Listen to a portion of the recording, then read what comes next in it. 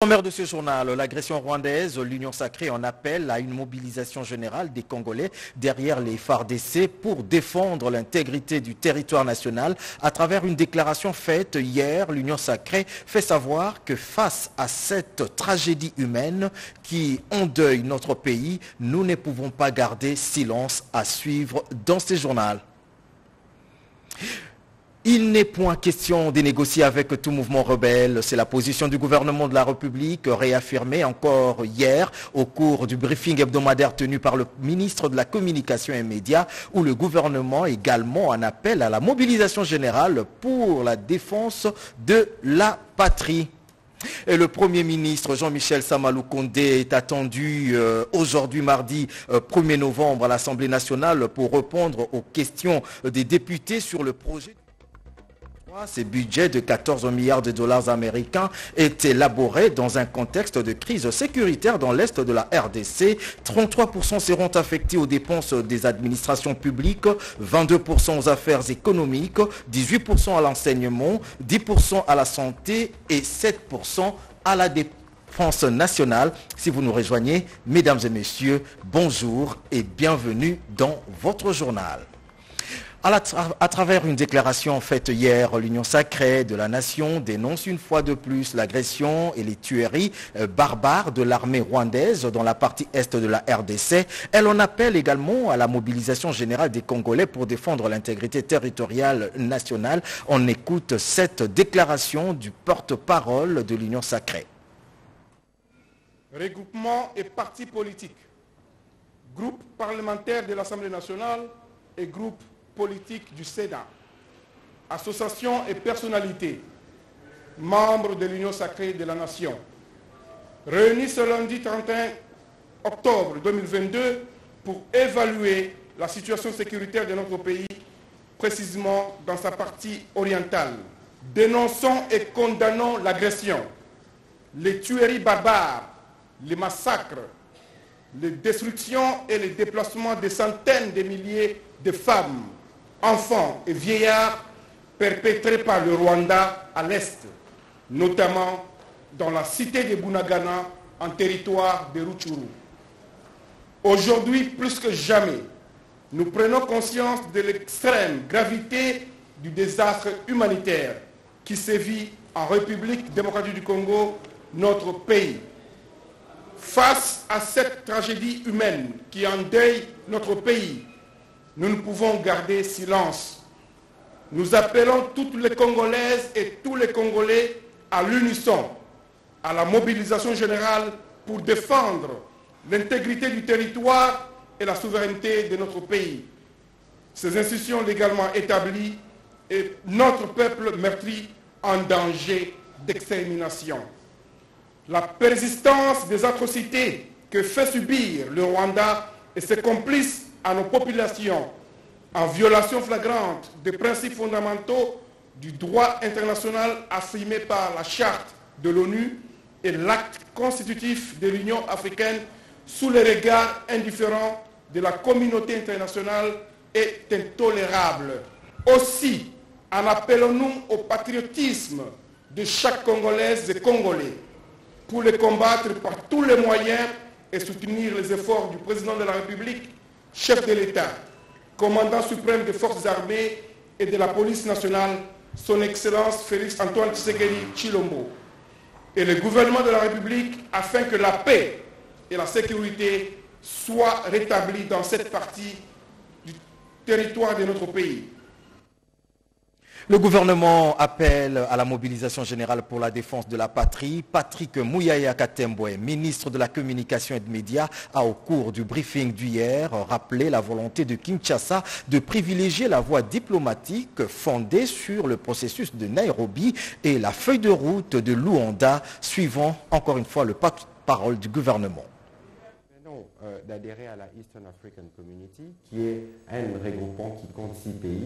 euh, ce n'est pas parce qu'il y a des difficultés euh, qui sont d'ailleurs traditionnelles pour euh, le Rwanda, parce que finalement, dans la ligne doctrinaire de ce pays, c'est de penser qu'on peut construire que dans le mensonge.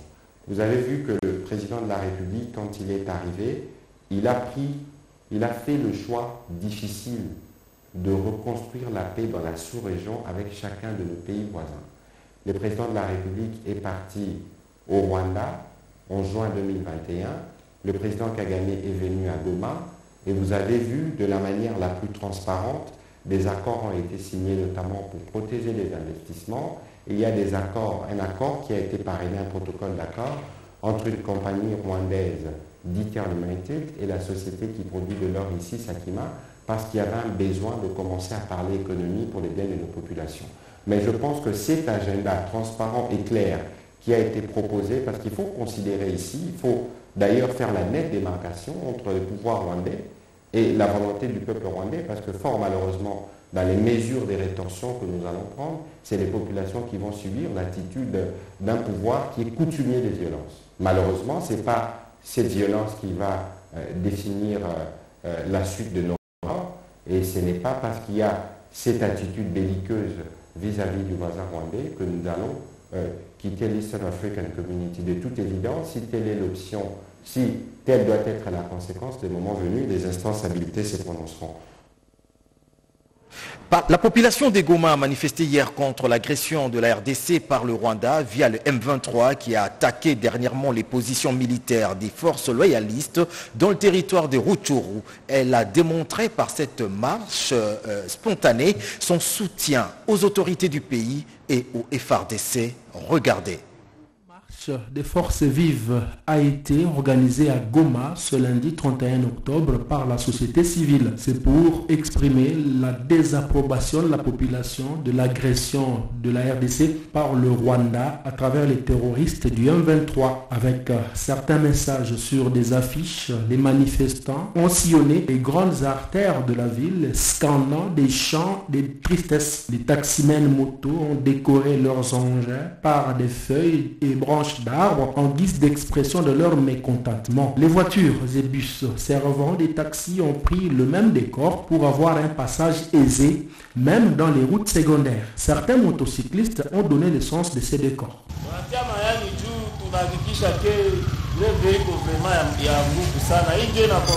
Nous avons barricadé les routes pour montrer à la face du monde la situation préoccupante qui se vit dans notre province de Nord Kivu. À cause du Rwanda, nous sommes en train de souffrir. Nous devons être soudés partout en RDC.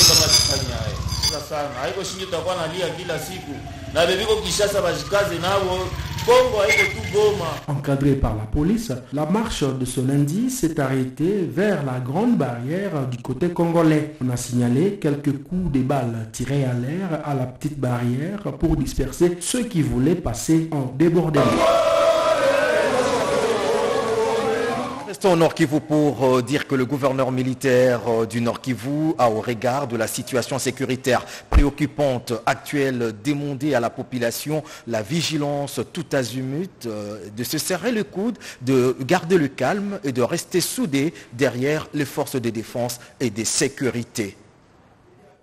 De son Excellence, Monsieur le gouverneur militaire de la province du Nord Kivu, à la population au regard de la situation sécuritaire actuelle très préoccupante, le gouverneur militaire de la province du Nord Kivu demande à la population la vigilance tous azimuts, de se serrer les coudes, de garder le calme et de rester soudés derrière les forces de défense et de sécurité.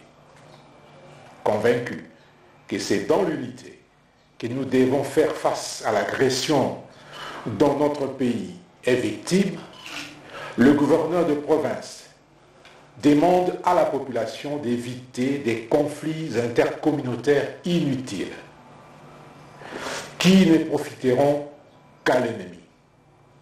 En plus, il invite la société civile et les mouvements citoyens de s'abstenir d'organiser des manifestations populaires susceptible de favoriser l'infiltration de l'ennemi.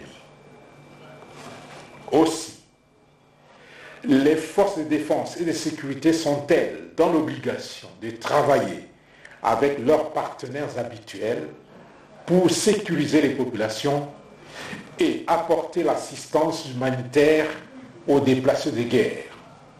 C'est dans ces contextes que les opérations militaires et des patrouilles conjointes seront organisées avec la MONUSCO pour atteindre cet objectif. Une fois encore, le gouvernement militaire de la province du Nord Kivu demande à la population d'éviter de se constituer en obstacle aux actions mises en place pour défendre l'intégrité menacée de notre territoire et assurer la protection des populations et de leurs biens. La situation sécuritaire en RDC, on en parle encore dans ces journaux euh, avec euh, la paix, rien que la paix, la communauté de l'Afrique de l'Est qui s'est prononcée à ces sujets tout en demandant aux deux parties de privilégier euh, la voie diplomatique suivait. in Eastern Democratic Republic of Congo. His Excellency retired Le président retraité Uhuru Kenyatta, envoyé spécial du Kenya et de l'Union africaine pour la paix, est profondément préoccupé par l'escalade du conflit et de la crise humanitaire qui sévit dans l'est de la République démocratique du Congo. Nairobi process on the inter-Congolese consultations and dialogue La communauté d'Afrique de l'Est, par le biais du facilitateur du processus de Nairobi pour les consultations et dialogues intercongolais et le rétablissement de la paix en République démocratique du Congo, Uhuru Kenyatta sonne l'éclat de la raison et on appelle au cessez-le-feu immédiat ainsi qu'au dépôt des armes de toutes les parties en conflit. Immediately halt their offensives, agree to a cessation of hostilities, allow for unhindered and, and ce qui impliquerait à la suite le retrait des troupes étrangères sur le territoire congolais et ainsi user des pourparlers pour parvenir à un accord équitable sous la direction de la communauté d'Afrique de l'Est.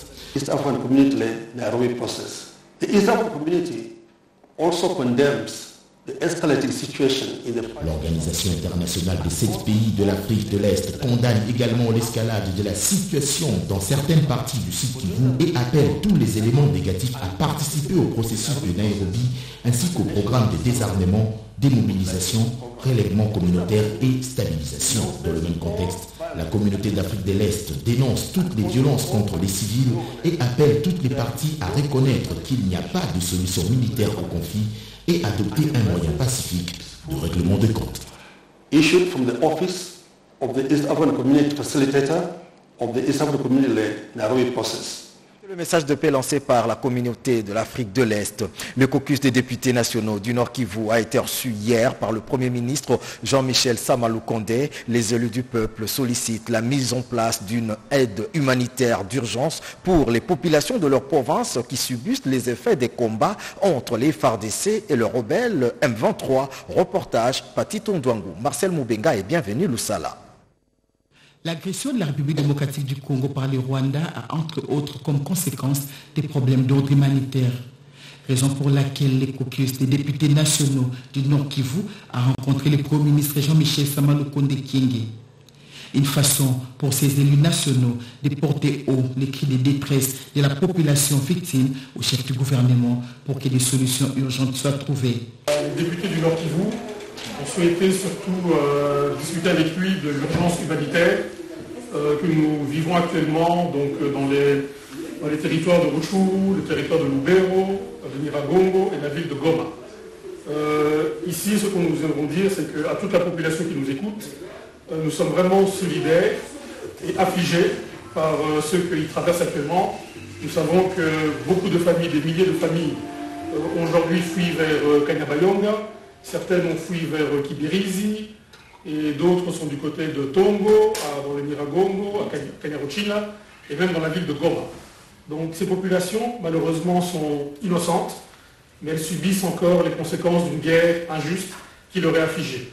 Nous avons estimé qu'il était très important, en guise de solidarité et de compassion vers ces populations, qu'on puisse rapporter leurs euh, difficultés et leurs conditions, euh, je dirais très difficiles qu'ils traversent, au niveau du gouvernement du chef du gouvernement, pour que d'urgence soit mise en place une aide humanitaire. Nous félicitons en tout cas le Premier ministre qui, nous a écoutés, qui a répondu positivement. Donc euh, d'ici les jours qui viennent, nous aurons l'occasion de travailler avec euh, le ministère des Affaires sociales et humanitaires pour planifier cette, aide qui doit arriver d'urgence à nos populations. Les députés nationaux du Nord Kivu a par ailleurs salué les efforts fournis par les FARDC sur les champs de bataille afin de témoigner sa compassion envers la population victime de ces atrocités. Restons au niveau de la primature euh, pour parler des préparations de 9e jeu de la francophonie où le Premier ministre euh, Jean-Michel Samalou Kondé a reçu deux athlètes congolais choisis comme ambassadeurs de la RDC à ces jeux de la francophonie que va abriter la RDC en août 2023. Question de les assurer de l'achèvement des infrastructures sportives prévues pour ces jeux. Pati Tondouangou, Marcel Moubenga et Bienvenue Salah ont signé ce reportage.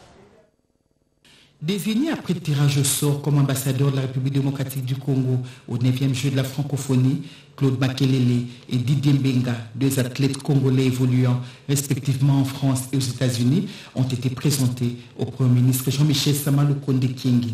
Claude Makelele, ancien footballeur, aujourd'hui entraîneur, est content de partager son expérience surtout avec la jeunesse de la République démocratique du Congo. C'était très important pour nous et il nous a vraiment rassurés au niveau de toutes les infrastructures.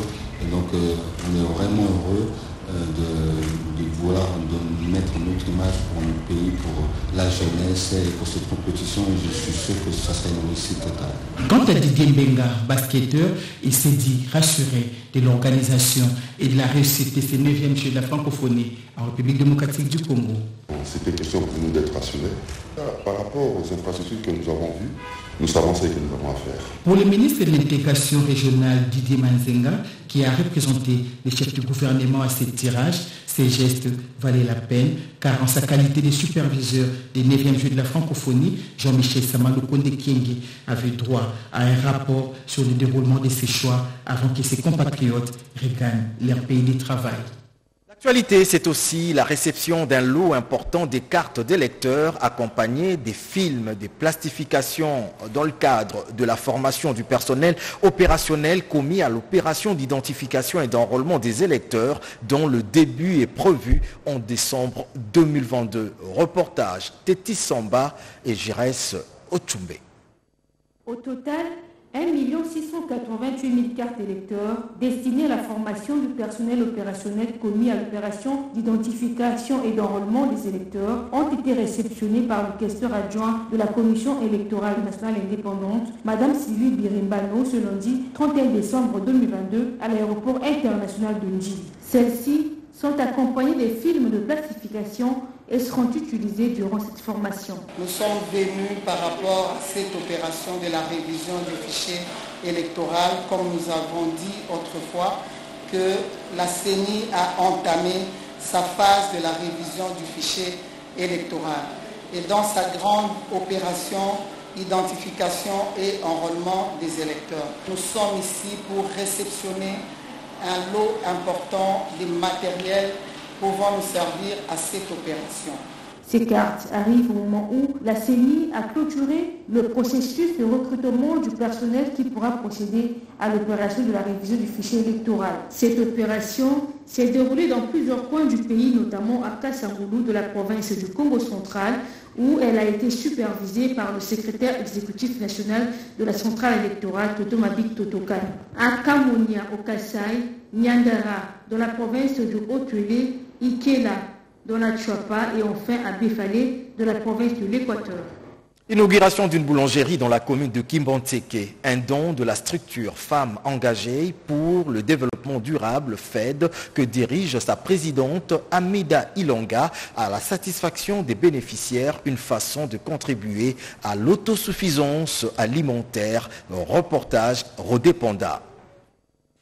1415 jours, soit trois ans comptés depuis la création de la structure Femmes engagées pour le développement durable FED, sous l'impulsion de son initiatrice Amida Ilanga. FED, qui prend le développement par l'autonomisation de la femme, a déjà réalisé plusieurs activités communautaires notamment le projet agropastoral avec les femmes de Kimbansegen, les projets pour lutter contre l'insuffisance alimentaire avec les mamans de Njili Brasserie, aujourd'hui une boulangerie de fabrication de pain dont l'inauguration a eu lieu le samedi 29 octobre dernier, date qui coïncide avec l'anniversaire de trois ans d'existence de cette structure, et ce, sous la présidence de sa coordonnatrice, Amida Ilaga. Tout ceci dans le but d'autonomiser davantage la femme et booster le développement socio-économique de l'ensemble de la population. La cérémonie s'est clôturée avec la dégustation de pain sortis de la fournaise à l'instant même. La qualité a été appréciée par tous. Ces projets phares fait donc le bonheur des Quinoises et ces Quinois. Et si vous ne le savez peut-être pas, sachez qu'il se tiendra du 23 au 25 mars 2023 à Abidjan, en Côte d'Ivoire, la cinquième édition du Forum panafricain des femmes entrepreneurs. Le lancement des travaux préparatoires a eu lieu le week-end dernier, lancé par la présidente de la fondation Nehema Ketia Olangui. Reportage Susingoy et Maurice Mbewa.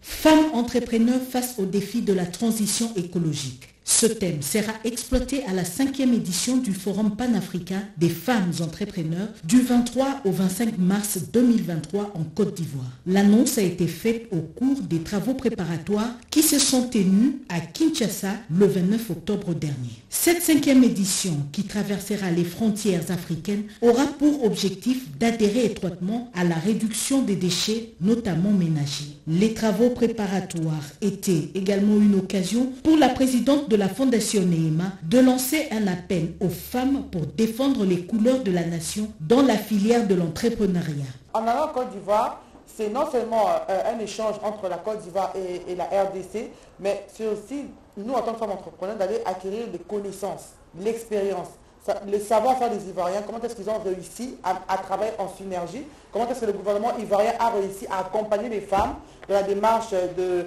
euh, des crédits, acquérir des financements pour euh, réaliser leurs projets? Alors je pense qu'ils sont très avancés et leur expérience va aider les femmes entrepreneurs congolaises à aussi revenir au Congo, faire un lobby pour que le gouvernement congolais aussi accompagne les femmes entrepreneurs congolaises. Les participantes devront aussi répondre à des critères de sélection avant le remplissage du formulaire d'inscription. Une commission de suivi sera mise en place pour les démarches administratives et consulaires des participantes inscrites à la Fondation Nehema depuis Kinshasa. Un projet vient d'être lancé en RDC, c'est celui de la prévention et la réponse à l'exploitation, abus et harcèlement sexuel. Cinq provinces sont concernées, quatre du Grand Équateur et la ville-province Kinshasa. Ce projet a fait l'objet d'un atelier. Regardez.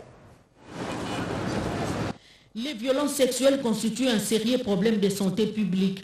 De plus en plus, des abus, exploitations et harcèlements sexuels ont été constatés pendant la période de la pandémie à Covid-19, d'où la nécessité d'une réponse holistique. Voilà pourquoi les ministères du genre, de la santé et Sanro Asbel se sont retrouvés en atelier pendant deux jours avec leurs partenaires de quatre provinces de l'Équateur et Kinshasa pour avoir une compréhension commune du projet.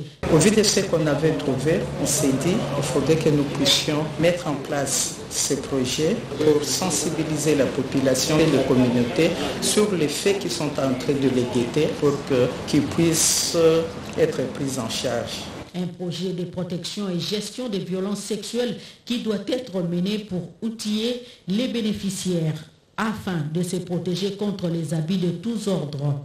Donc ce projet, c'est le projet de développement des systèmes de santé, le projet multisectoriel de nutrition de la santé. Un programme lancé par la directrice du programme national de la santé de la reproduction, Dr Anne-Marie Toumba. Sanrou Asbel assure la mise en œuvre de ces programmes d'une année avec possibilité de les renouveler sous le financement de la Banque mondiale à travers le Fonds des Nations Unies pour la population UNFPA.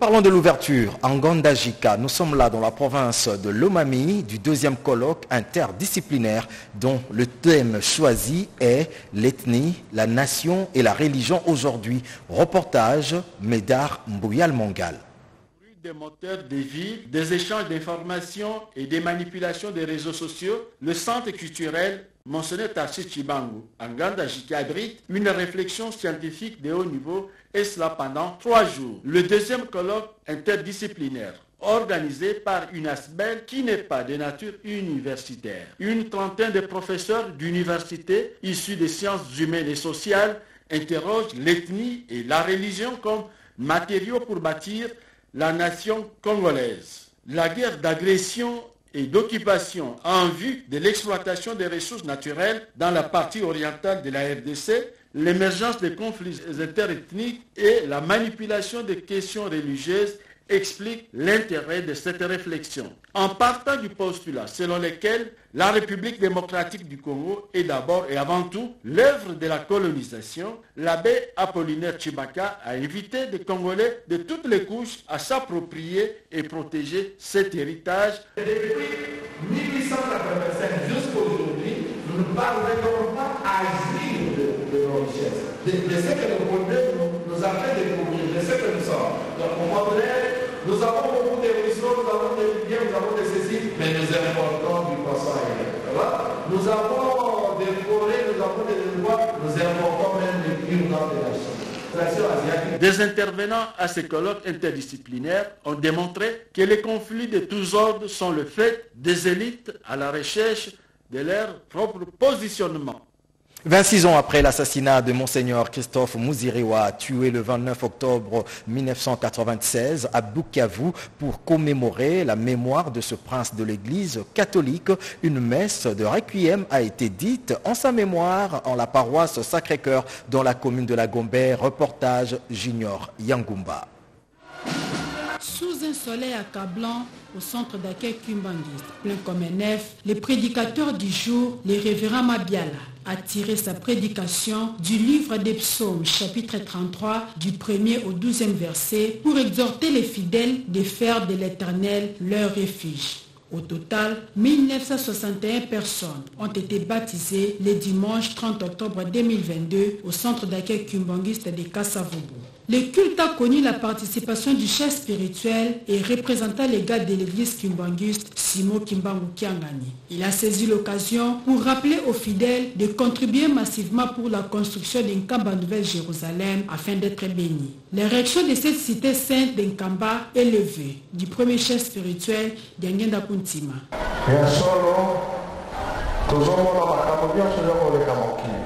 Nous voyons tout ce qui se passe dans le monde. La première génération n'avait pas vaincu, c'est reste possible avec la quatrième.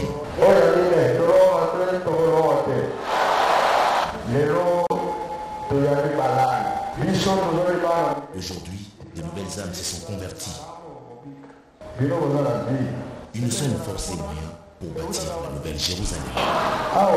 Pour les chefs spirituels, l'Église vient de totaliser 100 ans, avec à son actif plusieurs réalisations. Cependant, beaucoup reste encore à faire. Nous sommes allés trop vite en besogne. Vous venez là de suivre plus de 1900 personnes baptisées au centre d'accueil kimbanguiste de Kassavubu en présence du chef spirituel Simon Kimbangu Kiangani. On en vient à 26 ans après l'assassinat de Monseigneur Christophe Mouziriwa, tué le 29 octobre 1996 à Bukavu. Pour commémorer la mémoire de ce prince de l'église catholique, une messe de requiem a été dite en sa mémoire en la paroisse Sacré-Cœur dans la commune de la Gombe. Reportage Junior Yangumba. Christophe Gabo, un nom qui restera toujours gravé dans la mémoire collective des Congolais. Monseigneur Christophe Mouziriwa, assassiné froidement par des militaires de l'ADL le 29 octobre 1996 à Bukavu. Une date inoubliable pour les fervents catholiques. Une messe d'action de grâce du 26e anniversaire du meurtre de Monseigneur Christophe Mouziriwa a été célébrée par Monsieur l'abbé officiant José Pundou le 29 octobre 2022. C'était à la paroisse du Sacré-Cœur dans la commune de la Gombe à Kinshasa. Plusieurs personnalités ont signé leur présence à cette messe à la mémoire de Monseigneur Christophe Mouziriwa, dont les ministres de la Défense Gilbert Kamonda et le président Boni Gabo de la fraternité Mouziriwa. Le 29 octobre 1996, Monseigneur Mouziriwa quitte l'archevêché pour rentrer au collège conduit par son chauffeur et en compagnie d'un militaire congolais chargé de lui faciliter le passage au poste de contrôle. Arrivé sur place du marché Niawera, l'archevêque est extirpé de son véhicule par des militaires rwandais. Brèvement interrogé, il est ensuite abattu tout comme ses deux compagnons. La fraternité n'a pas cherché à, engager une action judiciaire contre cela. le crime est connu, les autorités compétentes sont censées s'en saisir elles-mêmes quand elles le voudront. Donc pour nous, ce n'est plus une question qui nous, qui nous concerne, c'est une question qui concerne la justice de ce pays. Le crime est resté impuni, mais la mémoire reste vivace. La place où il a été assassiné porte aujourd'hui son nom. Termine ce journal avec les femmes de Kalamou dans le district du Moumba qui ont été sensibilisées autour de l'éveil patriotique ainsi que des actions du chef de l'État. Une sensibilisation faite par la présidente de l'ONG Moissi à Congo, Brigitte Kinkoufi. Reportage Paulette Lomba. Tout où elle est passée, Brigitte Kinkou Fimpidipio, présidente de l'ONG Moissi à Congo, n'avait qu'un seul message concis et précis. Losonayo Nandekete. Ce qui traduit veut dire ne jamais donner son riz aux oiseaux qui sont souvent sans adresse fixe et donc considérés comme étrangers. Appliquant cet adage à la vie politique en RDC, Brigitte Kinkoufi a sensibilisé les femmes sur l'importance des voter utiles lors de prochaines échéances électorales. Dans les districts du Mont-Amba, elle a conjointement avec la délégation de la Ligue de femmes de l'UDPS eu des échanges fructueux avec les femmes de la commune de Calamo sur le veille patriotique et les actions du chef de l'État. Très réceptives, ces femmes ont pris l'engagement de se ranger derrière le chef de l'État et de soutenir sa vision. Les informations que nous avons données aux mamans, on a préféré les mettre aussi sur papier, afin qu'ils aillent aussi partager aux enfants, même à ceux qui n'étaient pas venus avec nous, pour qu'ils sachent au moins quelle a été la mission que moi, à Congo, s'était assignée. L'ONG Moissi à Congo reste déterminée dans sa lutte de sensibilisation des femmes de toutes les couches sociales sur les actions du chef de l'État. Prochaine étape d'activité, le Congo central. Rappel des titres. L'agression rwandaise, l'Union sacrée en appelle à une mobilisation générale des Congolais euh, derrière les FRDC pour défendre l'intégrité du territoire national. À travers une déclaration faite hier, l'Union sacrée a fait savoir que face à cette euh, tragédie humaine qui endeuille notre pays, nous ne pouvons pas garder silence. Vous avez également suivi dans ces journaux, il n'est point question de négocier avec tout mouvement rebelle. C'est la position du gouvernement de la République réaffirmée encore hier au cours du briefing hebdomadaire tenu par le ministre de la Communication et de Médias où le gouvernement en appelle à la mobilisation générale pour la défense de l'intégrité territoriale. Le Premier ministre Jean-Michel Samalou Kondé est attendu euh, aujourd'hui, euh, mardi 1er novembre, à l'Assemblée nationale pour répondre aux questions des députés nationaux sur le projet du budget 2023. Ce budget de 14 milliards de dollars américains est élaboré dans un contexte de crise sécuritaire dans l'Est de la RDC. 33% seront affectés aux dépenses des administrations publiques, 22% aux affaires économiques, 18% à l'enseignement, 10% à la santé ainsi que 7% à la défense nationale. Et juste après ce journal, vous suivrez l'intégralité euh, de l'Union sacrée qui a déclaré hier euh, de dénoncer une fois de plus l'agression et les tueries barbares de l'armée rwandaise dans la partie est de la République démocratique du Congo. C'est à suivre juste après ce journal. Fin de cette édition d'information. Merci d'avoir suivi. À très vite. Au revoir.